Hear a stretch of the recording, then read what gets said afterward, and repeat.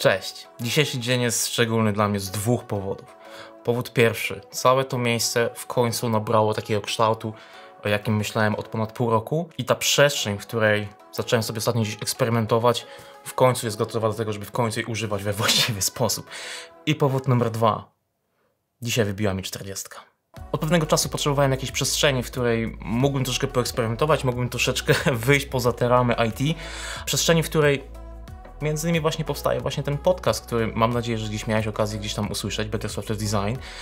Przestrzeni, do której będzie można zaprosić jakiegoś gościa i wspólnie tutaj coś pomodelować i efektami tego wszystkiego podzielić się także, także z Wami. I o czym tutaj będziemy sobie rozmawiać? No, będziemy rozmawiać oczywiście o Domain Driven Design, o architekturze oprogramowania, o rzeczach związanych z software craftsmanshipem, czyli wszelkimi rzeczami, które gdzieś tam są w moim spektrum zainteresowań.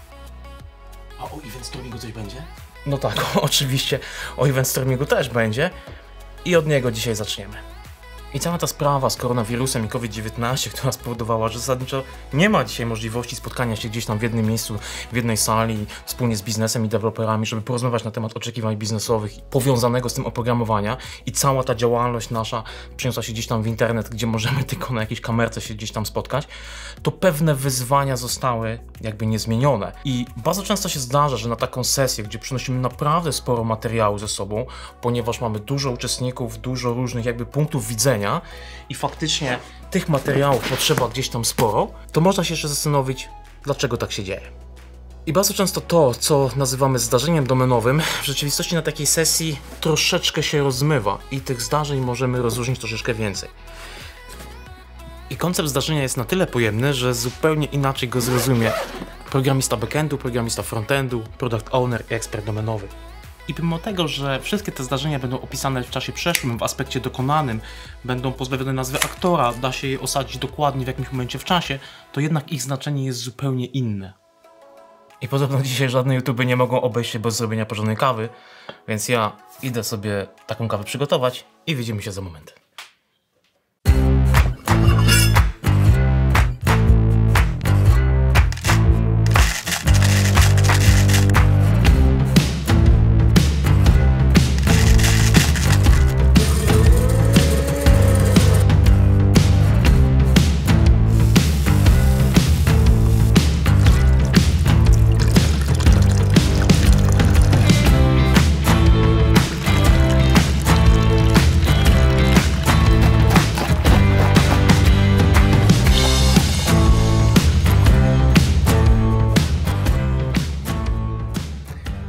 Podczas analizy projektu będą nas bardzo mocno interesowały oczywiście zdarzenia domenowe, które opisują istotną zmianę w naszym procesie biznesowym, zmianę, którą trzeba będzie warto pamiętać, żeby utrwalić w bazie danych, bo na koniec dnia nasz system prawdopodobnie na podstawie właśnie tych zdarzeń będzie podejmował pewne decyzje biznesowe.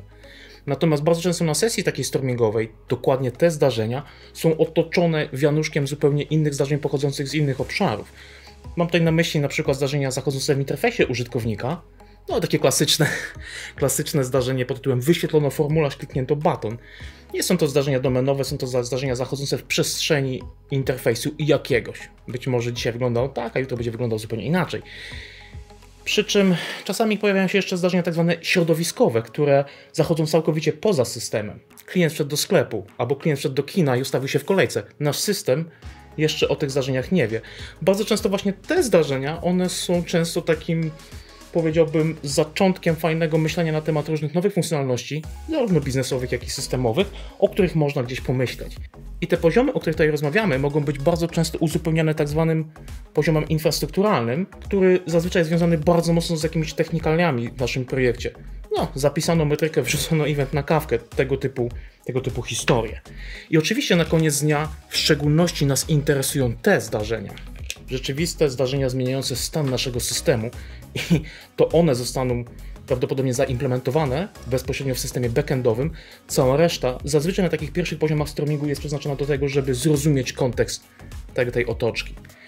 I oczywiście te zdarzenia dla nas będą również bardzo istotne, no, przykładowo zdarzenia środowiskowe mogą być interesujące dla product ownera, ewentualnie właściciela projektu, bo możemy uzyskać jakieś nowe spojrzenie na projekt. Zdarzenia interfejsowe, no zazwyczaj frontend deweloperzy są nimi zainteresowani. I warto czasami na takiej sesji pozwolić wybrzmieć pewnym rozmową po to, żeby właśnie poznać kontekst tego wszystkiego. Do czego to możemy wykorzystać podczas sesji? Jeżeli nasz czas jest ograniczony, bo mamy na przykład tylko 45 minut, ewentualnie 90 na, na przeprowadzenie event stormingu, skupmy się tylko i wyłącznie na tych zdarzeniach i całą resztę zostawmy na zupełnie inne spotkanie. I to by było na tyle na początek. Daj znać w komentarzu, co o tym sądzisz, a my się widzimy już niedługo. Cześć.